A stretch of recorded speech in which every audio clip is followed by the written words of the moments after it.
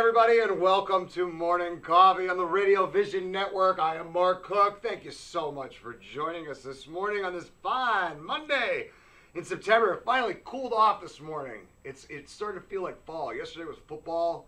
We're moving right along. The seasons are changing.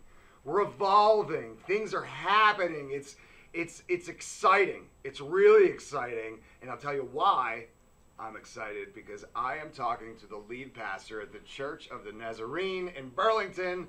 He is Brian Hannon, and he is joining me this morning on uh, Morning Coffee. Good morning, Byron. Hey, Mark. And welcome. Nice to meet you. Nice to meet you, and I'm doing great. And, and, thanks for joining us this morning because I think we've got a really great message to share with everybody, and it's a great way to kick off a week and a Monday morning and all of that. So I'm excited to jump right into it. I'm excited as well. Glad to be here. Thank you. So let's talk about, let's do like the technical specifics first, okay. just to tell everybody where the church is mm-hmm. and, and all that stuff. I know you're in Burlington, but let's right. get down to the specifics. Well, we're located at 704 Sunset Road, um, which is a main drag that runs through Burlington all the way in through Willingboro. Okay. So most people are probably familiar with it, have been on it a number of times, and may not even recognize that they've driven past the church. Right. So yeah, uh, if you're interested in our website, we're at www.burlnaz, uh, B-U-R-L-N-A-Z dot org. You can find us that way. Our number is uh, 609-387-4644. Yeah, now, I, I love that Burl Naz. It's such like a catchy website. Like, you would never expect, like, a church to have, like, a real catchy website name, and you guys did it. It, it just fits because, you know, the Church of the Nazarene is, is it's a unique name because a lot of uh, churches don't use Nazarene right. in, in their title, but. Right. You know, I, I, mentioned off the air that I, I look full disclosure, folks. I, I was a, a, Catholic school kid growing up, but you know, I know the term Nazarene, but mm-hmm. a lot of people out there may not be familiar with it. Right. So why don't you explain like why you chose that term for the church, or why it was chosen, and what it means, uh, you know, okay. for you. All right. Well, first of all, the Church of the Nazarene is a denomination. It's probably certainly not as well known as some of the other denominations out there in, in the Protestant world, but it is a denomination. And the founders chose that word specifically because um, Jesus was raised in the town of Nazareth. Mm-hmm. Even though he was born in Bethlehem, he was raised in Nazareth, and he was known as a Nazarene. Now, Nazarenes at that time of Israel's history were generally considered second class citizens. And so the founders of the church purposefully chose that name because they wanted to identify to the least of these among the citizens of the world.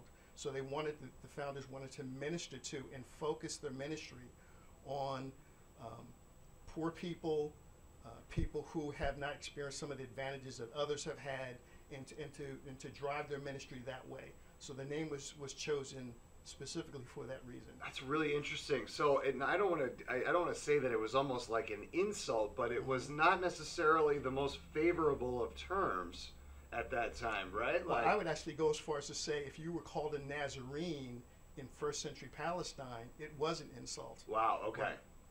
It, but it's it's like such such a weird thing because the name comes out of a place, mm-hmm. right? It comes out of, of, of a town, right. the town of Nazareth. Right. So to use that as like a uh, an insult mm-hmm. across a whole bunch of people is pretty. It's it's a pretty heavy and a pretty powerful thing that was happening at that time. Right, right, absolutely. And so to to use the term Nazarene was almost a way to try to bridge that gap mm-hmm. a little bit mm-hmm. and make the people feel a little bit more part of a community rather than constantly being it sounds like they were constantly being like pushed aside and pushed down. You don't you're not worth you have no worth and all that stuff. Well yeah i think and i think even more more marked to the point it was jesus was saying these are the people that i tend to associate with. Right. These are the people that i prefer. These are the people that i want to draw to me. Right. The, the, the low class the prostitutes the people who are classified as as sinners, those that the rest of society did not want to be bothered with. He was saying, I'm here for you. Right. And so the founders of the Church of the Nazarene back in 1908, when the denomination was founded, essentially were saying, that's what we want our church to be. And that's what we want our church to become. And that's what we want all of our local churches to have as a primary focus. Well, you want to help the people that need the help. Mm-hmm. And that's, a, you know, it sounds like such a simple message, right? Like, of course we want to help the people that, that need the help but it doesn't always work that way. No, it doesn't. And it's such a sad state of affairs that, that it, it doesn't work that way. And it takes this specific denomination to kind of take on that challenge because it really is, it's quite an insurmountable task if you think about it, right? Because especially in, in our America today, we're dealing with a lot of people that need help. There are a lot of needs. Um, it goes without saying, even though obviously we're saying it, there are just tremendous amount of needs. We never run out of things to do. There never we never run out of people that need to be ministered to, need to be loved, need to be cared for. So that's why we're there. That's what we want to do. That's And- what we're trying to do. and your community is, that's what that's what the congregation is it's all about it's all about helping each other and building each other up and and you know i know that that you know as the lead pastor over there you've encountered so many scenarios and situations and experiences where you have directly been able to affect families and individuals in the church and without giving any real specific information if you could just tell me some of those great stories that uh, of how you guys are helping you know your congregation Well, there's there's a there's a couple of things I, I, I can talk about. First of all, I, you know maybe I'll, I I originally planned to, to kind of work from a different direction, but I'll I'll start here. Um, we believe that it's very important that it's you're not only spiritually healthy, but that you're emotionally healthy. That the two go together, and that we can't have a healthy relationship with God unless we have a healthy view of ourselves and we have healthy relationships with other people. You know, God says that He the greatest commandment is to love Him and to love our neighbors as ourselves. They work together. It's not one or the other. So we devote a lot of time in our congregation at focusing on both our spiritual health and our emotional health. Um, there's a there's a, an author by the name of Peter Scazzero who wrote a book, several books in fact, but the latest one is called Emotionally Healthy Spirituality.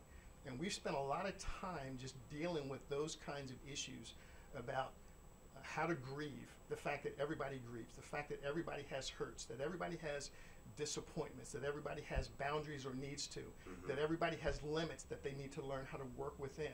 And when we don't operate according to that, that kind of dynamic, then we tend to run into emotional problems. And so we spend a lot of time working in our church around around that. But then what we want to do is then take that message and say, we've benefited from that. How can we help others, whether you're a part of our congregation Right. or not? So we may ha- it may be as simple as someone calling our church who doesn't attend, who asks us to pray for them. Okay, it, it may it be, could be an intent simple as an intention Right, please right. just think of me it- right it- exactly. It could be how do we partner with other organizations. So, for example, one of the things that we do is we, we, we periodically partner with the Jewish Relief Agency that provides food to hungry people in South Jersey and in North Philadelphia. Awesome. Actually, all of Philadelphia. I, I shouldn't limit it to, Right. to North Philadelphia. Um, and I actually had a situation on Valentine's Day where we were delivering food. You know, on this particular Sunday, we weren't having a, a normal church service. We were delivering food with uh, Jewish Relief Agency, packing food and delivering it to homes. And I went into this one woman's home and I knocked on her door, and she came to her door and she says, I'm so glad you're here. I've been waiting for this food. Now, I believe, don't know for certain that this was a Jewish woman, but she says, I need, I was waiting on this food. And I'm so glad you're here. And she invited me in, and I, I, she asked me to put the food in the kitchen, and she said, Are you married? And I said, Yes, ma'am. It was an older lady. And she says, Well, your wife won't mind. Today, you're my Valentine because you brought this food to me. wow that's powerful and and and your heart has to be so full at that time Absolutely. full of so much emotion because you're it's breaking in in some way that this woman is so reliant and so uh, you know she needs the food so badly. Mm-hmm. And it's and it's so full on the other side because you get to be able to help that situation and really be a part of the solution mm-hmm. which which is such a, a really rewarding feeling that that uh, if, if people don't know what it's like to volunteer and to help others it is the most rewarding feeling for yourself. You're not only doing such great work for others, is that it can make you feel good too. And that's like the selfish reason of it, Right, right? And you don't have to make a big deal about that of how great it makes you feel and all of that, but it, it, it's a byproduct of serving your community Right. Absolutely. and serving your fellow man because because that's what it's all about, and that's the message that has gotten lost here, kind of over the years as we've we've gotten more aggressively towards our own personal goals rather than our goals as as a collective. And Byron, this is awesome. but We've got so much more to talk about, but I got to take a break. This is what happens, right? We talk about so much great stuff. I run over these breaks. My producers, they'll go crazy. They make all these break signs, but uh, we got to take a quick one. Okay. We'll come right back here on Morning Coffee and we'll talk more to lead pastor from the Church of the Nazarene in Burlington. His name is Byron Hannon, and we'll be right back here on Morning Coffee on the Radio Vision Network. Sub some sizzle. This is the way.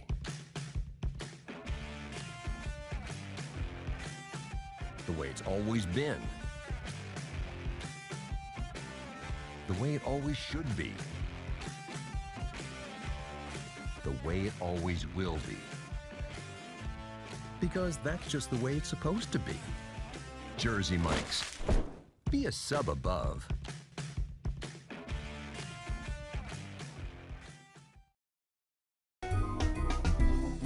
Simply Gents, located in Marlton, New Jersey, takes care of all your grooming needs, including haircuts, straight razor shaves, massages, facial, manicures, pedicures, and waxing. To find more information or book an appointment, visit us online at www.simplygents.com. The secret weapon of a well groomed man, Simply Gents. If you haven't been to Speed Raceway, what are you waiting for? You want to live fast? You want to make every second count? Then grab the family. Round up the guys. Speed Raceway is 100,000 square feet of excitement, whether you're a kid or a kid at heart. Speed Raceway is the place for endless fun all summer long. Log on to speedraceway.com or just get here now. When it's time for Jersey Mike's to make a really great sub, this is what we do. It's what we've been doing. It's what we've always done.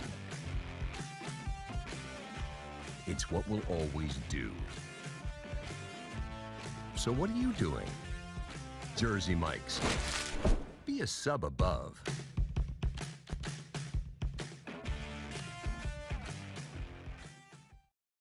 Today's show was brought to you by Alicia Kelly of White Horse RV Center in Williamstown, New Jersey. Alicia is your RV expert. Contact Alicia at alicia at whitehorserv.com or give her a call at 856 262 1717, extension 203. When you think of RV, think Alicia Kelly.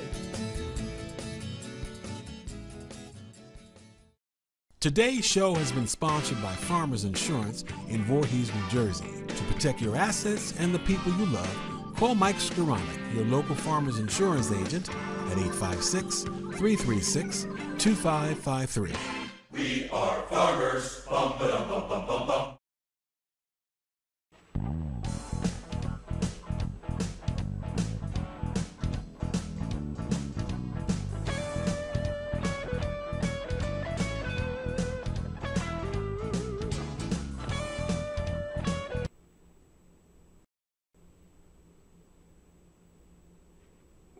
back to Morning Coffee. I am Mark Cook. We are here on the Radio Vision Network, and we are continuing our conversation from the lead pastor from the Church of Nazarene.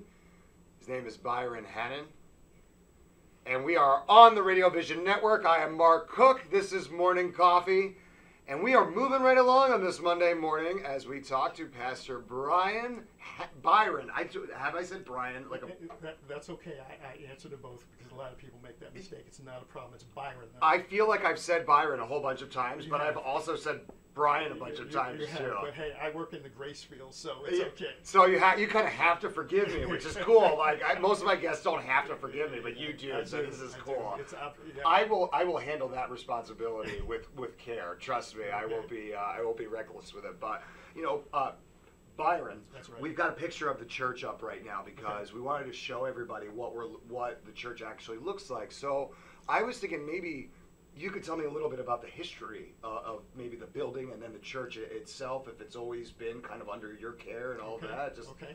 a little bit about it. Okay, well, the church was actually uh, uh, started in 1959 out of a home in Willingboro.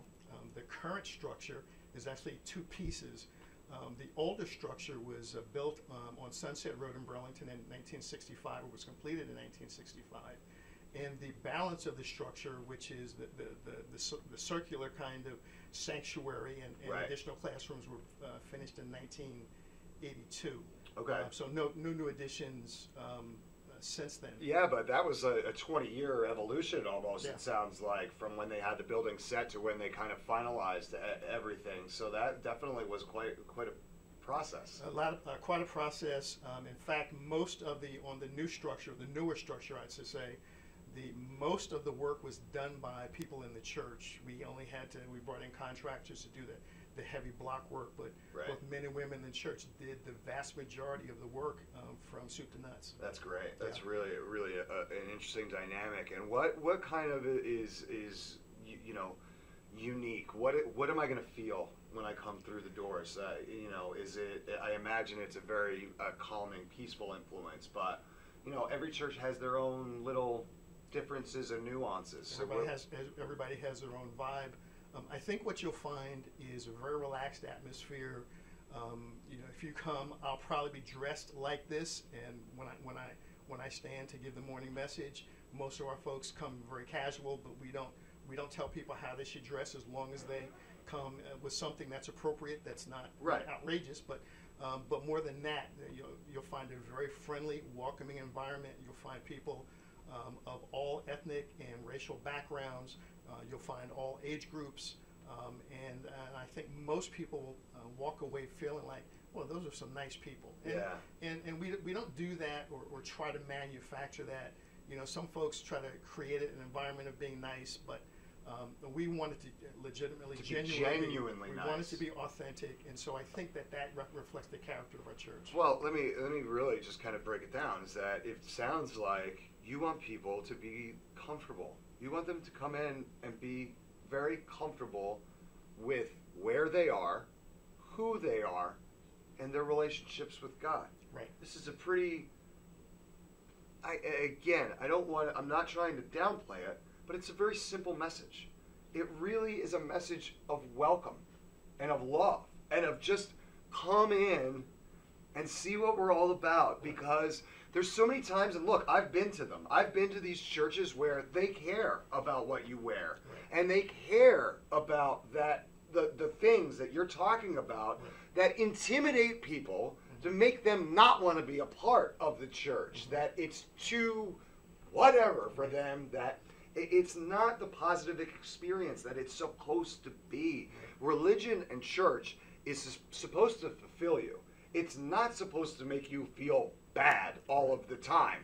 Well, I'm sure if you if you come to our place and stay long enough, you'll find our warts. We got them. We're like everybody else. We're humans. Right. But that won't be one of them. Right. You won't feel unwelcome. Right. You won't feel unloved. And, and one of the things I wanted to say, we didn't get the opportunity. We were talking in the previous segment, and I wanted to say this: that that love is not an emotion. Love is an action. It is it is a consequence of recognizing what people need and responding to it. That's love. Anything else, it's it's just airy fairy, and we don't really want to be about that. Um, those feelings are nice, but feelings ebb and flow. They go. But we want people to walk away feeling like their lives have been impacted, even if it's just for a few minutes, but hopefully longer. Right. That it's real. Yeah. That it's not a superficial, we're just telling you this because it sounds nice. Right. That it's an actual reality. And what I think is really, really interesting and really cool is that I think that, and this is important for, for everybody out there, that when you come to the Church of the Nazarene in Burlington, I can come directly to you. Absolutely. and talk right to you. And if I have any questions about the church or about anything, about really about life, about anything, I could come directly. I could shake your hand. I could be face to face. I can look you in the eyes and I can ask you anything that's on my mind. And that is a really special thing. And people need to understand and take advantage of that. Well, and I, I in fact, um, it's interesting you say that, Mark, because at the end of every service, I generally will say, If anybody wants to talk to me about anything, I will remain up here for a few minutes. Mm-hmm. Sometimes people come, sometimes they don't. Right. But I want people to feel like, I, I never want people to feel like I'm not approachable. Yeah. Um, because what's the point? Right. Right. What's the point if I'm not approachable? Right. Um, and so, um, so I, you know, I like your point. I like the way you frame it. Um, I wish I could have said it that way. Yeah, no, th- that, that said, um, you know, people people are always free to come, whether it's beginning, middle, or end. In fact, we actually try to construct our services so that there is an opportunity for people to participate in our services, as opposed to just us standing up in front and being talking heads. Yeah, well, and that's another big complaint that people have is that there's they're they're they're they're, they're trying to worship and, and their services, and they feel like it's just this one way. It's one way down, and it, and your dynamic is, is is kind of it's different. It's more it's more of a community based service. It's it, it's everyone involved together. It's it's really a, it's really a cool thing, and I'm just going by what you've described. Well, we, we want it to be. In fact, I mean, interesting given the, the background that you shared with the audience. Um, community and communion have the same root word. Mhm. They are the same. Yep. Um, and so you can't effectively have communion without community. Yeah. It, it, it doesn't Look at that. Look at that. Right. And and just to go back real quick, um, you know, look, eh, you know, through my life again, I was raised in in a, in a Catholic environment. Um, through my life, you know, when I wanted to, to speak to someone, and if I had questions of one of the leaders of my church, I had to go into a real setting, right? A very intimidating type setting, and it mm-hmm. whether it was an office or a confessional or something else, it was it was really it was a lot. And when you're a little kid, it's even more it's even more intimidating and and what you've created is a dynamic of breaking down all of those barriers and those walls and that that discomfort that I could just come and speak to a well-educated man and and be comfortable with the issues and the problems that I'm having because I know that I'm not going to be judged when I come to speak to the lead pastor at the Church of the Nazarene in Burlington, Byron Hammond. Well, uh, hopefully you would not feel that way, and, and certainly I can't take credit for breaking those. It was actually begun under predecessors of mine, predecessor pastors of mine, who created a culture that I'm just trying to trying to continue and build upon. Yeah, but that's a really uh, it's a really special thing. Is that look, you may not be the one that has started the mission, but the mission is one that's pure and good. Yeah. So it's very awesome that you want to continue that mission, right? Because we need people to continue to spread love and base actions out of love and positivity for our fellow man. Because again, we live, I feel like, in a situation where these words are so important, Well, maybe now more than ever. They're they're absolutely critical, and, and, and obviously, you know, the church the church worldwide has taken lots of hits. hmm Um, some of them, my opinion, um, deserved.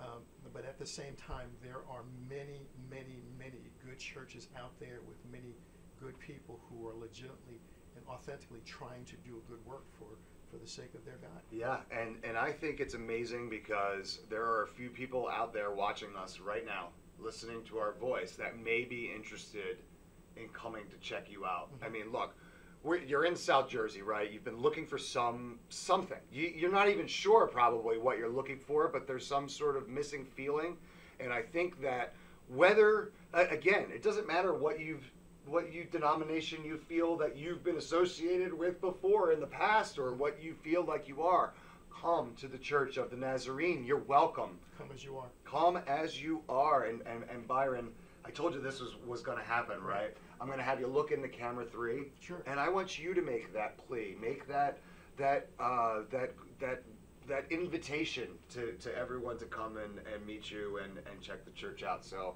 there you are sir. Camera three is all yours. Okay, well, there is a, an old, old hymn, and we don't sing, sing a lot of hymns in our church, but occasionally we do, and I'll break one out just, just for right now. There's an old hymn that says, Just as I am.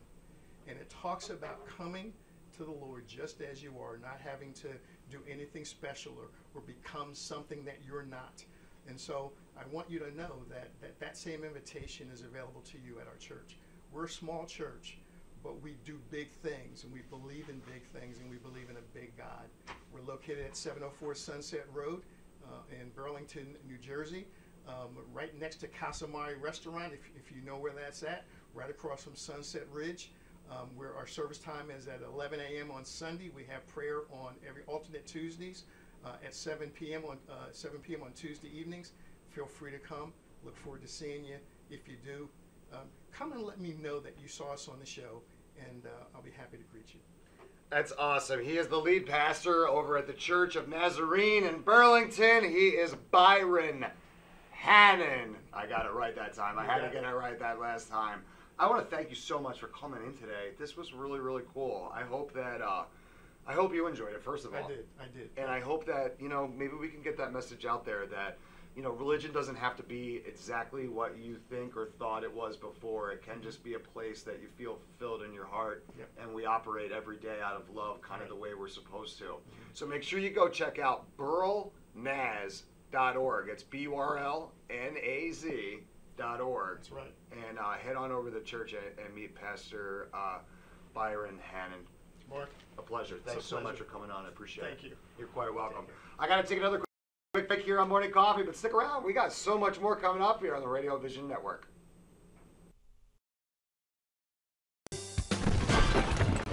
Today's show is sponsored by Hardgrove Demolition, your demolition experts. Hardgrove is a family owned and operated business right here in the southern New Jersey area, bringing you 45 years of demolition expertise. Hargrove has all your demolition needs, from emergency demolition service to demolition equipment rental.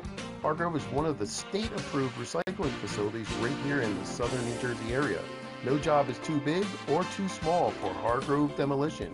Contact them today at one of their three locations. When it's time for Jersey Mike's to give a sub some sizzle, this is the way.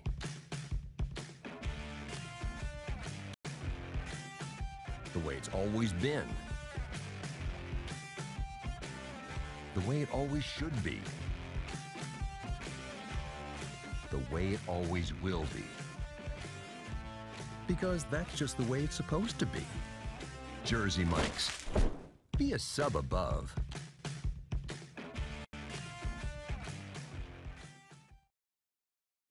Haven't been to Speed Raceway, what are you waiting for? You want to live fast? You want to make every second count? Then grab the family. Round up the guys. Speed Raceway is 100,000 square feet of excitement, whether you're a kid or a kid at heart. Speed Raceway is the place for endless fun all summer long. Log on to speedraceway.com or just get here now. When we make Beyond Natural dry dog and cat foods, we start with real meat as the first ingredient. We leave out corn, wheat, and soy. And we own where our dry food is made. 100%. Can other brands say all that? For nutrition you can trust and your pet will enjoy. Does your food go beyond? Learn more at purinabeyond.com. Extra Innings is the nation's premier indoor baseball and softball training center featuring indoor batting cages, seven multi-use tunnels, and